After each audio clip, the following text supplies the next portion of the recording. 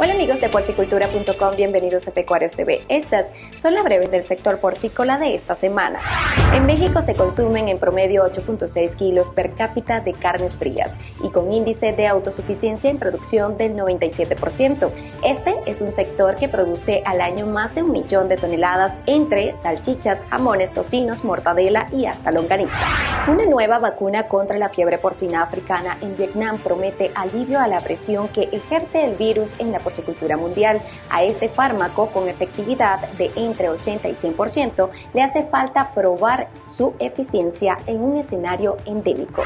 En la Cámara de Diputados han hecho un llamado a que la Ley General de Bienestar Animal quede aprobada antes del 15 de diciembre, que concluye el periodo legislativo. Los recursos, señaló el diputado José Ambrosio, no son un limitante, pues su implementación a nivel federal, estatal y municipal no tendrá un impacto significativo en lo económico.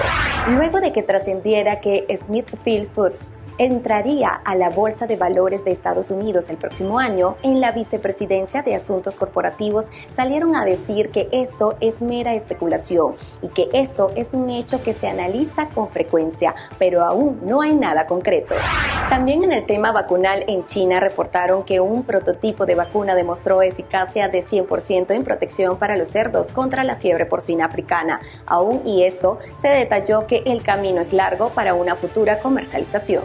Muchas gracias por acompañarnos en la breve del sector porcícola. Nos vemos la próxima semana.